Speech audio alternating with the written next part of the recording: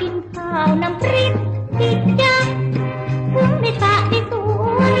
บ้านน้องใครร่ำใครรวยอ้าวทีนี้มาทำน้ำพริก ข้าวผัดน้ำพริกกับกะปิกันเลยนะคะ พี่น้องนะ นี่ น้ำพริกที่เราทำนะคะ มันจะต้องเข้มหน่อยนึงเพราะเราจะต้องเอามาผัดกับข้าวผัด แต่ทีนี้เราก็ต้องดูจำนวนคนนะคะว่า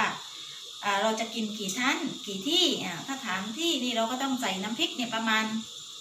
สามช้อนแอบประมาณนั้นเลยสามช้อนโต๊ะดี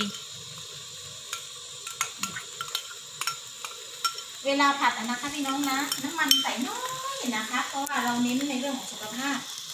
นะคะ น้ำมันเนี่ยเราใส่เพื่อไม่ให้ติดกระทะติดเชื้อนะคะแล้วเสร็จแล้วก็ผัดผัดน้ำพริกก่อนผัดน้ำพริกก่อนนะคะ ใส่น้ำพริกลงไปนะตามจำนวนที่เราจะกินกี่ท่านก็แล้วแต่ว่าเราจะให้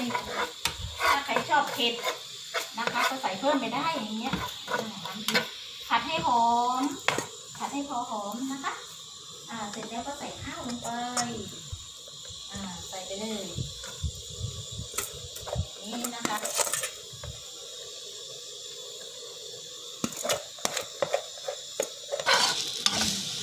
อันนี้ก็เอา เอาลงผัดนะคะพี่น้องนะ วิธีการผัดก็คือเราจะผัดให้ข้าวเนี่ยร่วนเลยนะ เป็นร่วนร่วนๆเลยนะคะ อ่า แล้วก็ให้น้ำพริกอะเข้ากับ